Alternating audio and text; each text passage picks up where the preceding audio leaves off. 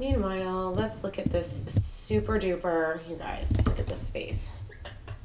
That's what it really looks like. This is um, a laptop bag. I'm so profesh. Hey guys, and welcome to today's video. Today we're gonna do another nail tutorial, and I am very excited to be doing this. If you follow me on Instagram, you know I have been talking so much about the Dashing Diva Gloss Ultra Shine Gel Strips. I am super excited to share that Dashing Diva has given me, I believe it is a discount code. I don't think it's an affiliate code. The difference being a discount code is where you guys, my subscribers and followers will save, I believe it's 10%.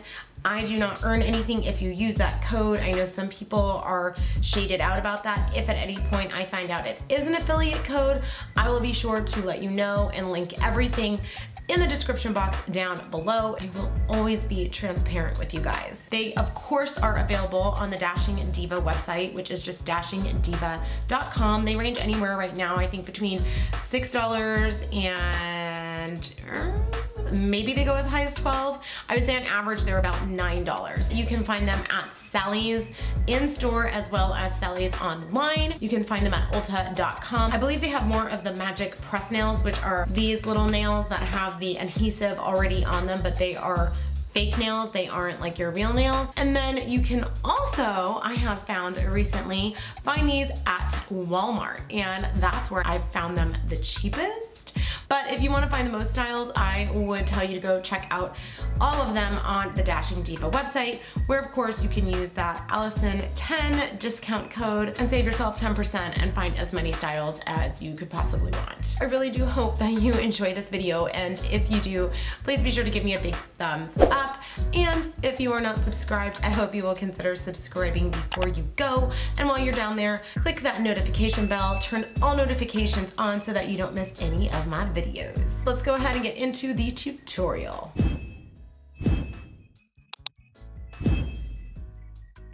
Alright guys, so here is a closer look of what the nails look like. I really wanted to make sure that you could see this, much like I did that last video where I did a tutorial with Impress Nails, which is very similar to their Magic Press Nails, the Dashing Diva Magic Press Nails. This is what the nails look like after hold on, gotta do the math. I put them on Valentine's Day, which is the 14th. So 15th, 16th, 17th, 18th, 19th, 20th, 21, 22, 23, 24, 25, 26, 27, 28.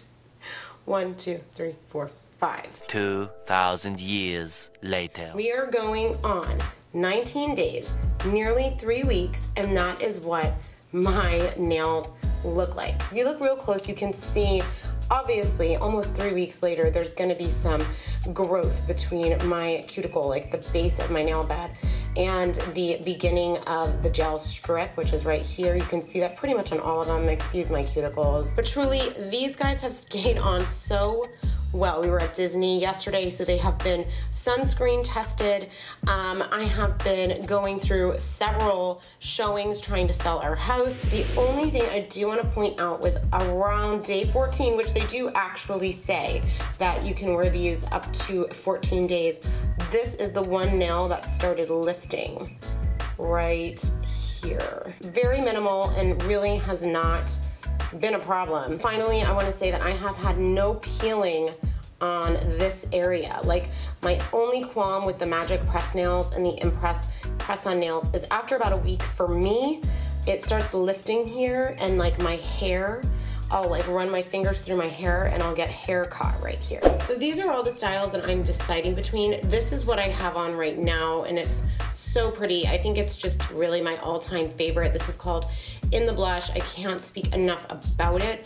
I feel like I don't want to put it back on. I kind of want, I don't know, a little variety. We have an event this weekend and I'm kind of leaning towards these. I just kind of like how they're nude and there's a little bit of bling that we can apply if we want, but it's not over the top. This is in the style Precious Metals. I have worn this one if you've seen me on my Instagram stories. I posted about this one. This was the first style that I tried in the gloss nail strips by Dashing Diva and I don't think I've ever gotten so many compliments on my nails. And this is in the style Rum Raisin. Ugh, and then this one I like so much. I love when they have this gold detail here so pretty. Um, this is in the style Modern Matter, but yeah. Let's go with my gut and let's do this one right here. I want to reiterate that I am not a nail pro by any stretch of the imagination. I am just doing what works for me here. That being said, for removal, I use this NCLA So Rich nail oil and then this little nail cuticle pusher. I don't know what you call these things, but I got this one in one of my Magic Press sets. It comes in there. So we're just gonna put a little bit of oil on each of the nail cuticle areas, just letting it soften up the sticker strips, if you will. Then we're gonna take our little pusher sticky thing here and just kind of start lifting the sticker, the strip. I call it a sticker. It's way more than a sticker. But at that point, it's like lifted and it just peels.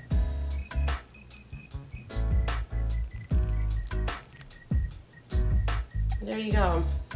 The nail looks good. There's no damage to it. It's that easy. So just kind of doing the same thing. Like, do you see how easy that just lifts right off? Not checking to see if it's in focus, but I'm just rubbing the oil that's on there just over it.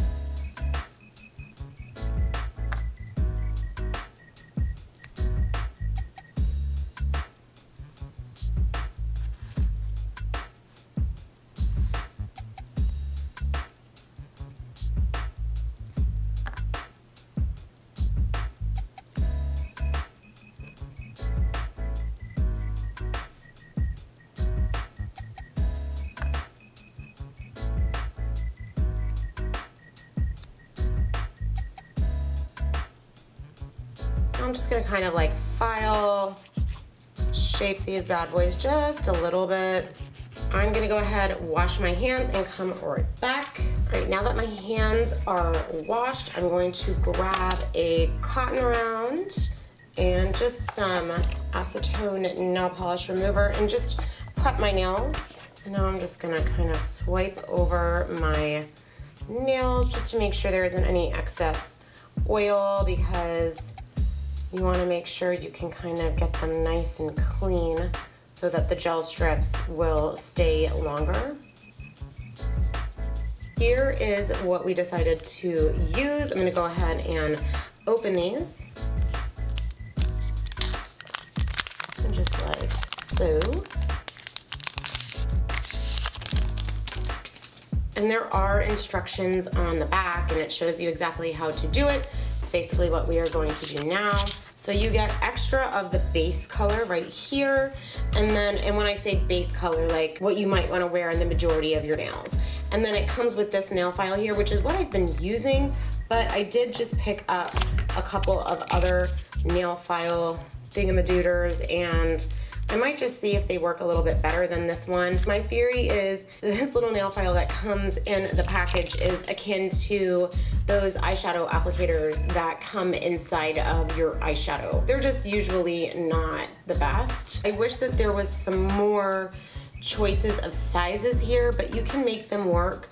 I found that really like not having the perfect like matching nail size, I just kind of mixed up which nail was wearing these two. Like these two on this hand, they were the same, but just kind of switched, if that makes sense. So keep your little sticky thing around. It helps really push the strip like into your, I don't even know what this is called, you guys. I'm telling you, I'm not a nail person, but push it back in here so it looks the most natural. I know with the Magic Press and your um, impress nails, the press on nails, they say it's better to start with your pinkies, but this doesn't really matter. Yeah, I think I'm gonna go with this size. So I always peel from this end because you're gonna end up like filing this part off. So if it gets a little bit messed up, it's not a big deal. You wanna kind of match this part to this part on your nail and then apply the most pressure right in the middle of the nail first. Then kind of push over to the sides. I'm gonna fold this part over I find if I hold it down while it's like folded over and file, that's how it comes off the easiest. Then I'm just gonna use this side right here, a little bit smoother just to kind of smooth out any edges. Just kind of peeling from this side. I'm doing my best to like match it up at the base.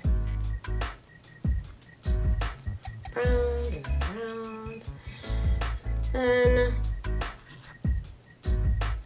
after you've kind of pushed it all up to the base, I ended up going and getting a different little pusher because this one still had oil on it, like Allison, hello, what an idiot. And it was making the nail not stick. So you might even see some bubbles on this one. It's not terrible, but I ended up having to get a new glitter nail because the other glitter nail wasn't lying flat. I'm like, something is wrong. And that's what it was because this is what it should look like. This is perfect. Now I'm gonna go ahead and I'm gonna see if I can just do, I'm trying different files today because if I don't have to switch back and forth between two, that would be awesome. I'm gonna go ahead and fold and just begin filing.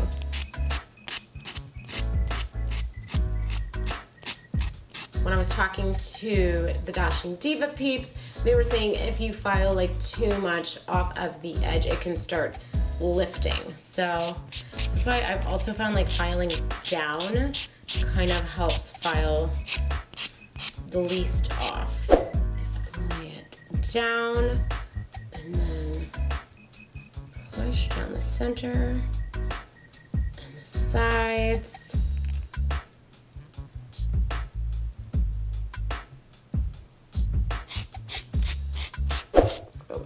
One, push it down the center.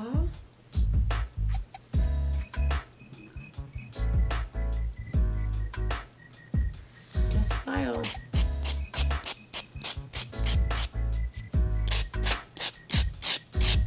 All right, and so for the pinky, I think I'm gonna just do this light color again.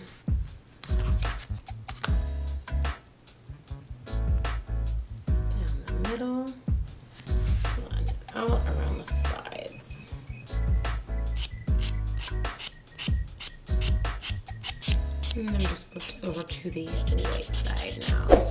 Voila!